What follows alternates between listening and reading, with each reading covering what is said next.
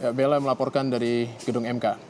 Ya Rama siang tadi, uh, ini para pendukung Prabowo Hatta ini sempat kaget karena mm -hmm. ada konvoy kapal perang milik TNI Angkatan Udara yang terbang rendah di atas gedung MK. Betul. Ya ini mereka sangka ini merupakan bagian dari keamanan uh, berlangsungnya sidang, sidang MK, gugatan ya? MK. Mm -hmm. Namun ini adalah persiapan gladi resik untuk menyambut HUT uh, Indonesia yang ke-69. Uh, mungkin mereka juga takjub gitu melihat uh, ada 32 pesawat yeah. tempur atau bisa dibayangkan ya ada Golden Eagle, yeah. ada Sukhoi, ada F-16 terbang rendah. Terbang rendah. Tapi nyatanya itu memang buat gladi resik HUT 69 Betul. RI 17 Agustus nanti. Ya. Kita beralih ke berita selanjutnya. Ketua DPD Gerindra DKI Jakarta Muhammad Taufik melaporkan balik Ketua KPU ke Bareskrim Mabes Polri. Ya, Taufik membantah ia pernah mengeluarkan pernyataan ingin menculik Husni Kamil Manik.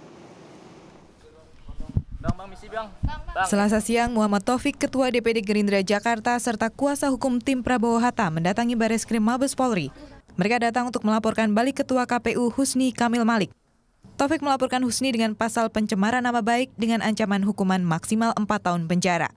Untuk segera menangkap Husni Kamil Manik. Itu kata-kata saya tuh.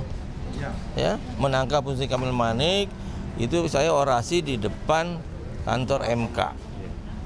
Kemudian kita malah kita bilang nanti kita akan buat replikanya Husni Kamil Mani kita serahkan pada polisi untuk menangkap yang aslinya. Selain itu, kedatangan mereka juga meminta penjelasan dari polisi terkait laporan yang diajukan pada 4 Agustus lalu, yaitu dugaan perusakan kotak suara oleh KPU. Hukum yang sanksinya lebih dari lima tahun itu segera harus ditangkap. Itu ketentuan hukum.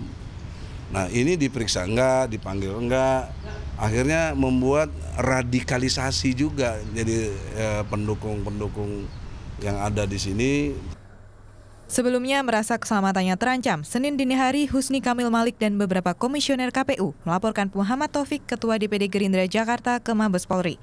Taufik dilaporkan dengan dugaan ancaman penculikan terhadap Husni saat berorasi di depan gedung MK 8 Agustus lalu. Selain melaporkan Taufik, pihak KPU juga meminta perlindungan polisi. Kenlin